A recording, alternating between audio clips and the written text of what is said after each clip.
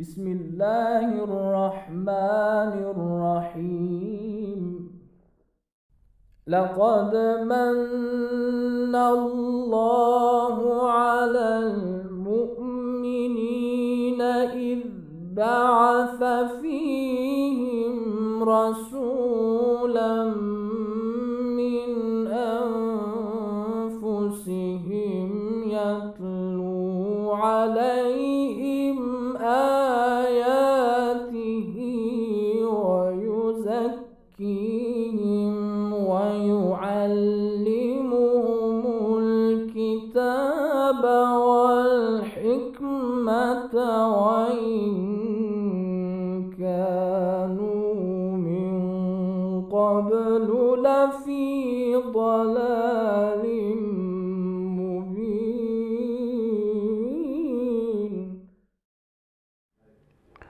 أعوذ بالله من الشيطان الرجيم. بسم الله الرحمن الرحيم. الحمد لله رب العالمين. والصلاة والسلام على أشرف الأنبياء المرسلين سيدنا ونبينا وحبيب قلوبنا أبي القاسم المصطفى محمد. وعلى آله الطيبين الطاهرين المأسومين الذين أذهب الله عنهم الرجس وطهرهم تطهيرا. وبعد. Yawan musulmi assalamu alaikum wa rahmatullahi ta'ala wa barakatu dukkanin godiya tabbata ga Allah subhanahu wa ta'ala wanda ya sake ba mu wannan dama na sake kasancewa tare da ku a cikin waɗannan darussa masu tarin albarka. Darussa wanda suka shahi kyawun ɗabi'u a mahanga na addinin musulunci. Da fatan Allah subhanahu wa ta'ala zai amfane mu cikin abin da za mu ambata. Insha Allah maudu'in wannan darasin zai kasance dangane da gururi a mahanga na alkur'ani mai girma. Mun yi bayani dangane da ma'anan gururi cikin darasin da ya gabata da kuma hakikanin shi. Insha Allah za mu yi ƙoƙarin mu bayyana ayoyi na alkur'ani masu girma wanda suka yi ishara ga wannan maudu'in kuma da mahangan alkur'ani mai girma dangane da wannan maudu'i wato ainihin gururi. In ban manta ba mun ce ma'anan gururi shine kasance mutum yana ɗauke da wata hala a cikin zuciyar shi wanda yake jin yahi wanda ba shi ba. Yana ihsasi yana shi'urin gururi da kuma rudani a cikin zuciyarsa. Ta yadda yake ganin cewa shi yana birbishin kowa.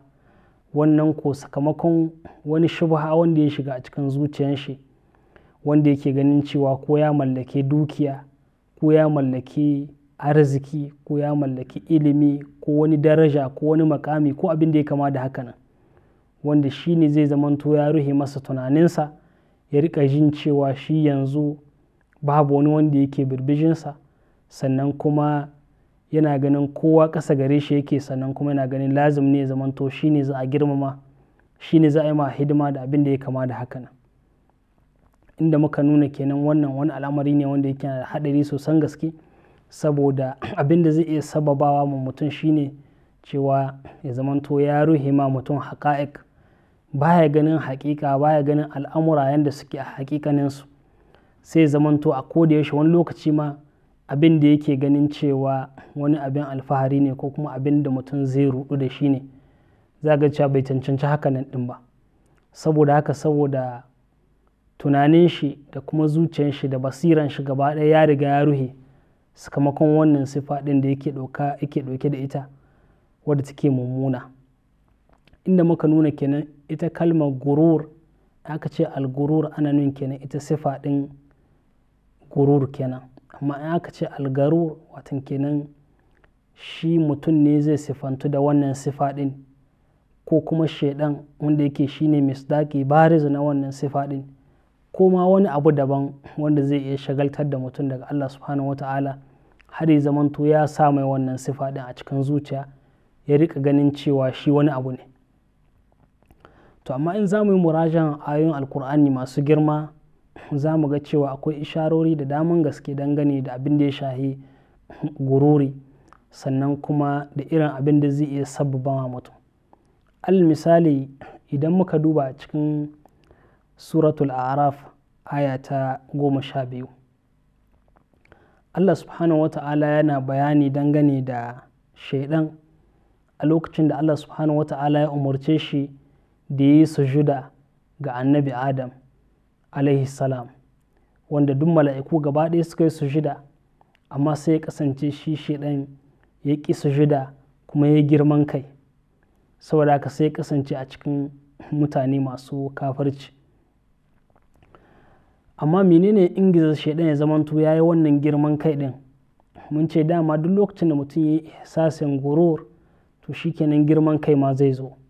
Duk lokacin da mutum yake jin cewa shi wani abu ne saboda yana ganin Allah subhanahu wata'ala ya mai wani baiwa wanda bai ma waninsa ba ya fara ihsasin wannan to wannan zai sa masa girman kai. To wannan girman kai kuma zai iya kaiwa har ya iya ma Allah subhanahu wata'ala girman kai. Kamar yadda muka gani yadda shaidan cikin kissan shaidan yadda shaidan ya ma Allah subhanahu wata'ala girman kai ya ƙi bin umarnin Allah subhanahu wata'ala ya ƙi yi wa annabi Adam alaihi salam sujida amma alkur'ani mai girma yana ishara dangane da abin da ya shahi wannan al'amarin cewa menene ingiza shaidan har ya zamanto ya yi wannan girman kai din shine shaidan ya ihsasin cewa shi ya yi adam alaihi salam. Ya yi shi'ori yana ji a cikin zuciyar shi kan cewa shi ya yi annabi adam salam. Saboda mai saboda wata shubha da ta shige shi wadda kenan yake ganin cewa akan wannan asasan sai ya rudu da kansa. Yake ganin cewa shi yanzu ya yi annabi adam salam. Saboda haka akan wani asasi zai masu sujuda. Allah subhanahu wa ta'ala ya bayyana cikin wani aya inda yake cewa qala ana khairun minhu khalaqtani min narin wa khalaqtahu min tin. Wata lokacin da Allah subhanahu wa ta'ala yake tambayan shi kenan me ya hana ka kai sujuda? A lokacin da na umarce ka kai sujuda ma annabi Adam alaihi salam. Sai yake cewa ni na fi shi. Saboda me? Watan shi shaidan yana nuna kenan shi ya yi annabi adam salam daraja ya yi shi ɗaukaka ya yi shi kima amma hangan shi wanda yake kuskure ne. Amma menene yasa yake cewa shi ya yi annabi adam? Menene mi'yar na shaidan? Yake cewa halakta ne min narin wa halaktahu min tin. Ka halicce ni daga wuta haka nan kuma shi annabi adam ka halicce shi daga laka. Saboda haka kenan shi yana ganin akwai afdaliya akwai fifiko tsakanin wuta da kuma laka. Kan wannan asasin shi ba zai sujida ba. Wannan kenan muna iya ganin wannan sifa ɗin bayyane a cikin maganganu na iblis haka nan kuma a cikin wujudikin iblis. Ta yadda kenan wani hali ne ya samu a cikin zuciyar shi wanda wani shubha ya sababa masa a cikin zuciyar shi wanda yake ganin kenan shi ya yi annabi adam saboda ga halittar shi annabi adam shi kuma ga halittar shi. Saboda haka sai wannan ya ingiza shi ya girman kai ya bin umarnin Allah subhanahu wata'ala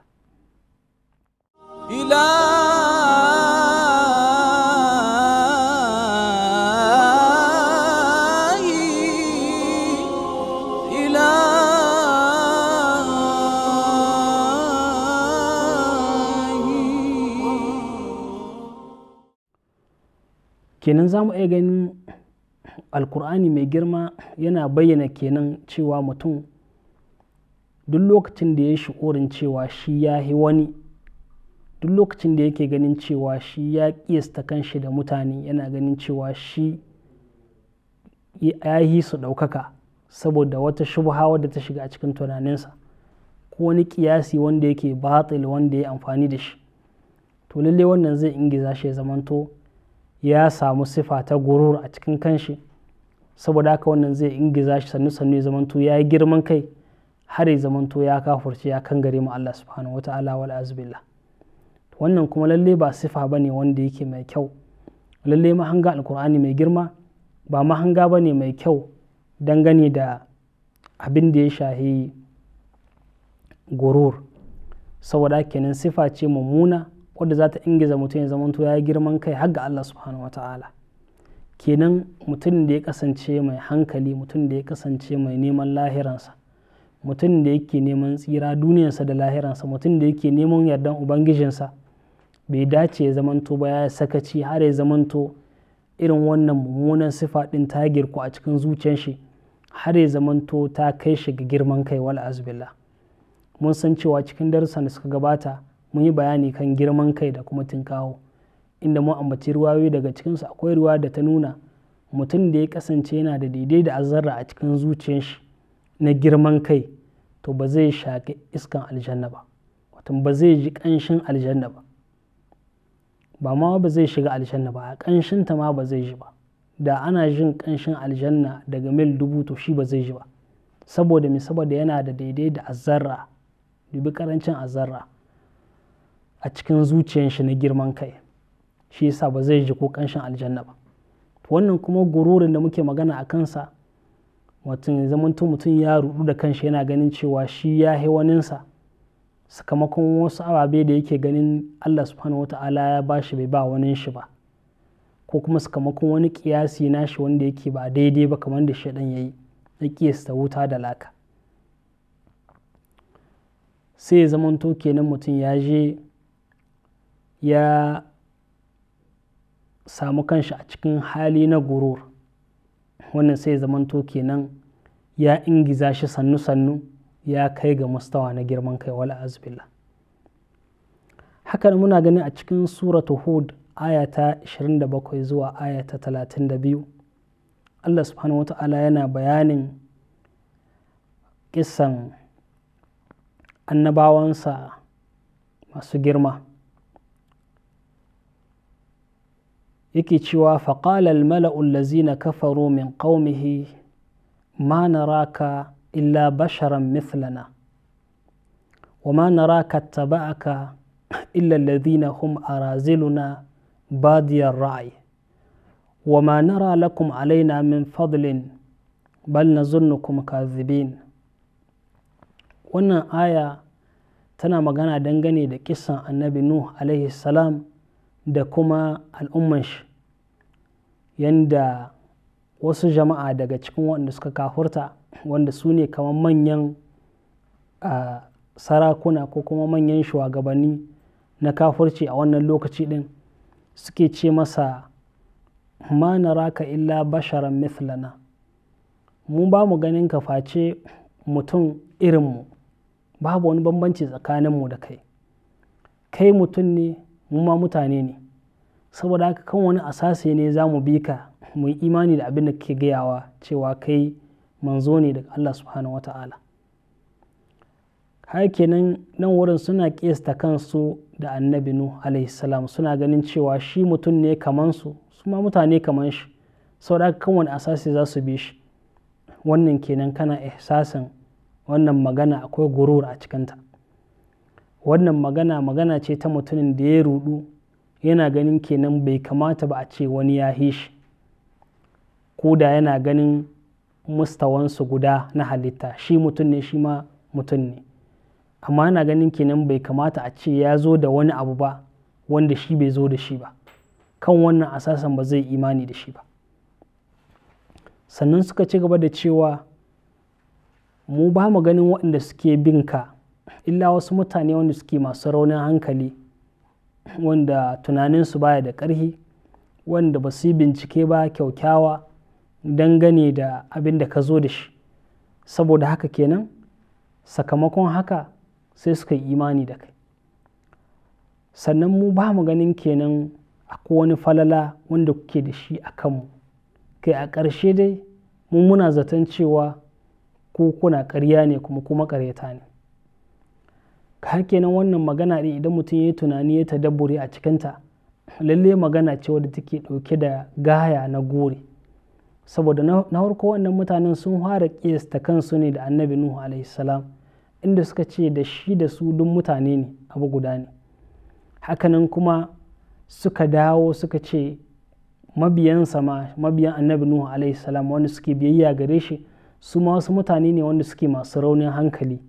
Wasu mutane ne wanda suke ba su da tunani ko kuma wasu mutane wanda suke talakawa wanda suke ba su da wani arziki ba su da wani kima ko kuma wani daraja a cikin mushtama saboda haka kan wani asasi za su zo ya zamanto sun bi shi. Kenan wannan yana nuna mana su sun kiyasta kansu da annabi nuh alaihi salam haka nan sun kiyasta kansu da mutanen annabi nuh alaihi salam wanda suka yi wanda suka yi inda suke nan suke ganin kenan su sun yi karin ya zamanto sun bi shi saboda na farko dai shi mutum ne kamar su. Sannan kuma suna ganin waɗanda suke biyayya gare shi ba wasu mutane ba ne wanda suke da daraja ko suke da kima ko suke da tunani ko abin da ya kamata haka nan a mahangansu. Saboda hakan ba su imani ba. Sannan a ƙarshe ma suke ganin cewa babu wani falala wanda su suke ganin cewa wanda zai sa su bi su. Kenan suna ganin yarin biyayya shine ya kasance tun da su suna ganin cewa sun fi kowa. To duk wani wanda zai zo ya ce a bi shi dole ya kasance ya hi su mustawa wanda kuma dama ba haka ɗin suke so ba cikin zukatansu. Sau da haka a ƙarshe abin ya kai su ga ƙaryatawa. Kenan a nan wurin muna iya ganin gurur yadda yake ingiza mutum sannu sannu har ya kai zamanto mutum ya ƙaryata annabawa ya ƙaryata Allah subhanahu wa ta'ala wal azubillah wannan kenan nuna mana mahanga na alkur'ani dangane da gurur. Ba mahanga ba ne wanda yake shajja'a mutum ya zamanto ya sifantu da wannan sifa din. Mahanga ne wanda yake tsoratar da mutum yake tsawatar mutum yana mutum hannunka mai sanda. Kada ya kasance ya yi sake ya ji ya fada cikin irin wannan mummunan sifa ta gururi wadda za ta kai shi a ƙarshe ya ƙaryata annabawa ya ƙaryata Allah subhanahu wata'ala yi ma annabawan Allah subhanahu wata'ala girman kai yi ma Allah subhanahu wata'ala girman kai. Wal azbillah wannan kenan da fatan Allah subhanahu wata'ala an fana da mu cikin abin da muka ambata. Wa sallallahu ala sayyidina muhammadin wa alihi at-tayyibin at-tahirin. اللهم ألهمنا طاعتك وجنبنا معاصيك ويسر لنا بلوغ ما نتمنى من ابتغاء رضوانك وأحللنا بحبحة جنانك واغش عن بسائرنا سحاب الارتياب. واكشف عن قلوبنا أغشية المرية والحجاب. برحمتك يا أرحم الراحمين.